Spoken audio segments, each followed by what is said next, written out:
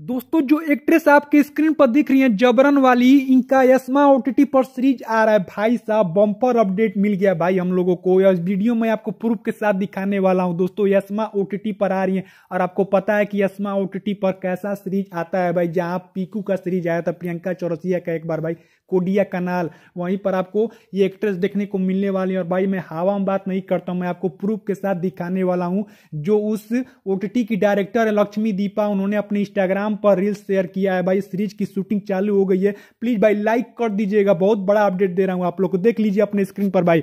देखिए, ये नया सीरीज़ का शूटिंग चल रहा है तो ये लोग कैमरा को प्रणाम उन्नाम कर रहे हैं वहाँ का रिवाज। देखिए, बगल में खड़ी है कि नहीं? लक्ष्मी दीपा के बगल में आप देखिए उस एक्ट्रेस को भाई। देखिए, जो जबरन में थी, एकदम वही एक्ट्रेस है भाई। आप लोग देख लीजिए पहले ध्यान से एकदम। पूरा ध्यान से देखिएगा जो देखिए प्रणाम कर रही है। देख लीजिए देख लीजिए भाई आप लोग। और अगर देखना है क्लियर से तो आप लोग भी जाकर लक्ष्मी दीपा के इंस्टाग्राम पर देख लीजिएगा। अभी एक घंटा पहले ये रील्स अपलोड हुआ है भाई। देखिए एकदम वही एक्ट्रेस है भाई। दोनों एक्ट्रेस को मिला लीजिएगा आप लोग, भाई साहब।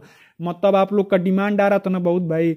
देखिए भाई, अब आपको यशमा ओ पर देखने को मिलने वाली और यशमा ओ पर हाफ़ अकट देखने को मिलता है भाई इस पर ओटीटी पर। बहुत सारे एक्ट्रेस इस पर आ चुकी हैं। सुभी शर्मा भी काम कर चुकी हैं भाई यशमा पर। और देखिए फाइनली बहुत दिनों के बाद कोई नई एक्ट्रेस को लेकर आ रहा है, यशमा ओटीटी, देखते हैं क्या होता है भाई। और क्या होता है भाई, पहले से तय होता है, तय रहता है कि क्या होने वाला है भाई।